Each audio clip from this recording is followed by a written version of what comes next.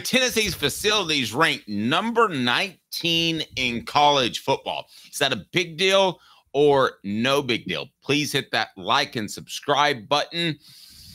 Let me ask you that question. Is that a big deal or no big deal? But first, is it a little surprising, Caleb? Because if you would have asked me out of left field, I would have said top 12 to 15, but it wouldn't have surprised me if they would have been top six or eight. 19 does surprise me. Yeah, it shocked me too. I think facilities, this is a facilities are the running backs of college football recruiting now. And here's what I mean where I'm going with that. I think facilities at this point, it's really hard to separate yourself in facilities. So I think the team with the best facilities is not that much different from the team with the 19th best facilities. That was the that was not the case 20 years ago. Is that fair to say? 20, 30 years ago, the team with the best facilities, there was a massive gap between number 1 and number 19 or number 1 and number 10. It's similar to like running backs now in football. The reason I say that is that so there are so many good athletes who can play running back that there's not much separation, which is why they don't have a lot of value in, in on the NFL market because it's not hard to find somebody of their caliber. And I think with facilities, it's a very similar thing. I think all of these top 30 teams that were on this ranking from 247 Sports, I honestly think that it doesn't matter if you're number 30 or number one. Um, I think there, I think the parity in facilities is such that recruits aren't going to notice that much of a difference between those anymore. No, I, as Cooper Mays said, if you didn't watch his uh, video, it's there. The Ball Report brought to you by our good friends at City Heating and Air Conditioning. Integrity matters 50 years in East Tennessee. He said 45 pound weights or 45 pound weights and 25 pound weights or 25 pound weights. There used to be a huge monstrous difference. They're not. So if NIL, we would agree, is the number one draw to come to Tennessee, what's number two? Maybe we could turn that into a poll question, but I do want to hear your thoughts on the message board. If NIL is number one, first, do we agree that NIL is number one? No, I actually think there's one letter between the N and the L that you need to change because that's number one still. I think for athletes, NFL. Okay, well, I was At gonna. Here's here's my argument though. NIL is mandatory, so it's number one, not just for Tennessee, but everybody. If you say zero dollars, you're not getting in the hunt. Right. Fair enough. Fair okay. enough.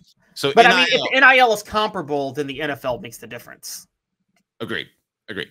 So uh, NIL um, is number one. If you don't have it, you don't have a ticket to the concert, right? So right. after that, what is it? Because it's not facilities. Because Tennessee's recruited better than 19th in the country. So what is it? It's it's NFL potential.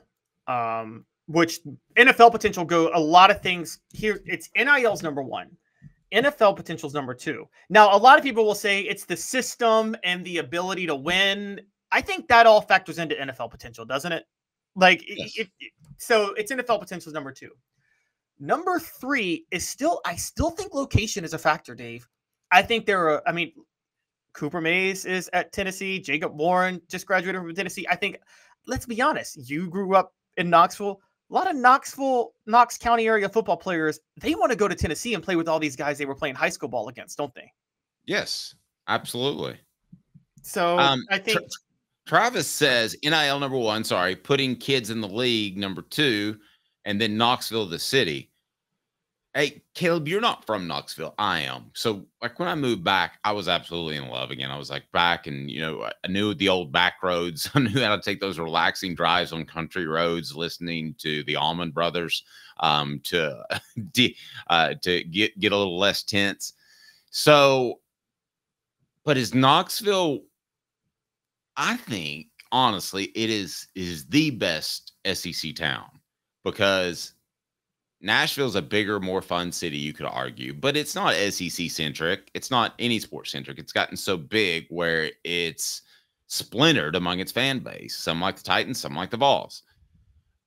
I mean, what? And the Vols aren't the only team in Nashville either. Yeah, the Vols aren't. Like, there's, a lot, there's a lot of college teams in Nashville. It's getting very cosmopolitan. You're right. So eh, when, when you look at uh, Tennessee, where does that put? Where does that put Tennessee in your mind? Okay, so uh, people are going to hate me, but I, I, have to be honest. Knoxville's not the best SEC town. Athens is. Athens is beautiful. I'm in love with Athens. Um, Athens and Oxford are my top two, but Knoxville's up in the in the upper echelon. Don't get me wrong, but Athens and Oxford are just amazing. Um, yeah, but you, you are picking one of those two, Ole Miss, that you and I like probably more because we're more adults. I don't know that a 19 year old loves Oxford as that's probably true, but they'll love Athens. Athens is amazing. Athens and... is pretty cool because you're an hour away from getting into fun in Atlanta, or you can do it there, which is it's a cool kind of hippie top town. Is that safe yeah, way to say like a little the like the Haight Ashbury of the South? Um, no, Athens is fair, but you would agree that Knoxville's never it's an upper echelon.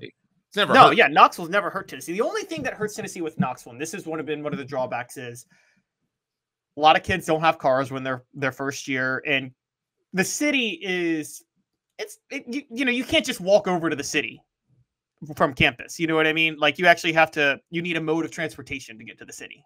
It's not in it's not meshed in with the city.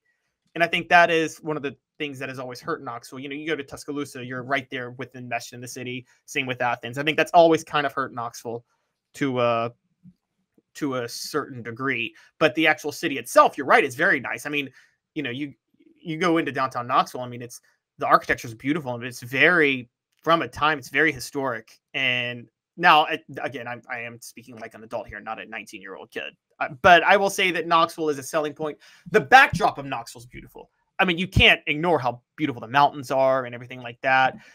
Um, you know, if your teammates do what Fred White and Spencer Riley do, or what they do, they took them. Was it bungee jumping? Was, was where they took them, or where did yes, they take them? Al Wilson went bungee jumping.